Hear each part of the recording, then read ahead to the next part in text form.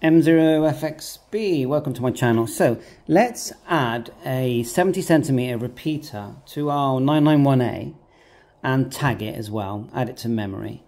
First thing we're going to do is get it into VFO mode. So press VFO and it should say VFO A here. Next, let's add the frequency. So we'll go band and we're going to click enter and we're going to type 430 92500 and then enter. So that's the output frequency.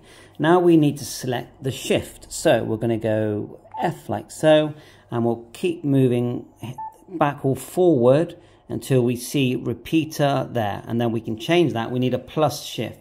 So we're going to keep tapping repeater until it says plus. There you go, we now have plus. The next thing is we need to turn on the tone. So here, just to the right, it says tone DCS. You want to keep tapping. And I've been using encode, but you could use CTCSS. But I like to use encode so I can hear all the beeps. Encode. The next thing we need is our repeater frequency. So go forward, tone frequency, should I say. 77 hertz here. Now just tap it and then you can change it with the multi-knob. All of these you can change with the multi-knob.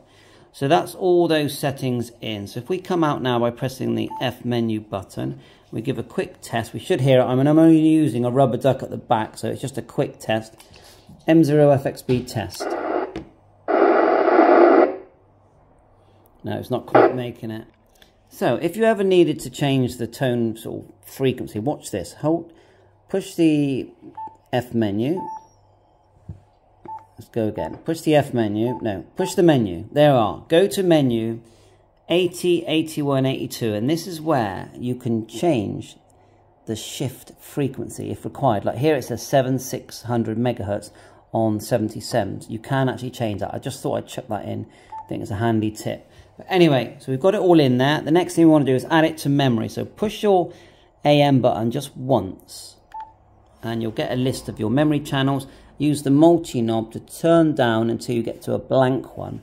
Once you get to a blank one, which is number four, make sure it highlights it in blue, yeah, here, then hold down AM again, it will beep twice.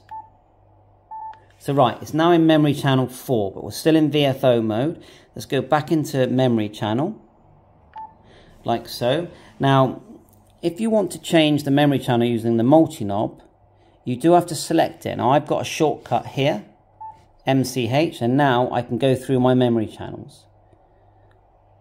Okay, now if you can't find the MCH there, just press the F button here, move forward or back until you see it. It's permanently there in the selections and eventually you'll see one that says MCH, tap it and you can now select come out as well. You can now select memory channels there you go, like so, see? And if not, use your microphone. You've got up and down. And you can even use the, the fast button on the microphone as well. But anyway, and you can hold down the, you can even hold down the up and down. It will start to scan through the memory channels. Anyway, next thing we need to do is tag it. So we want to tag memory channel 4. So in memory mode, now push F at the top. Push and hold.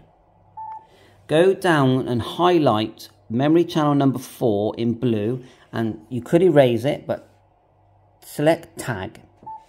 And that is called GB3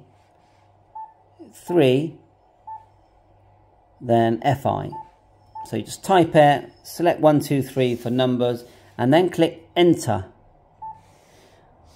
Okay now with a bit of luck we should be able to come out of that come out of memory, go back into memory and look at the top here it says GB3FI.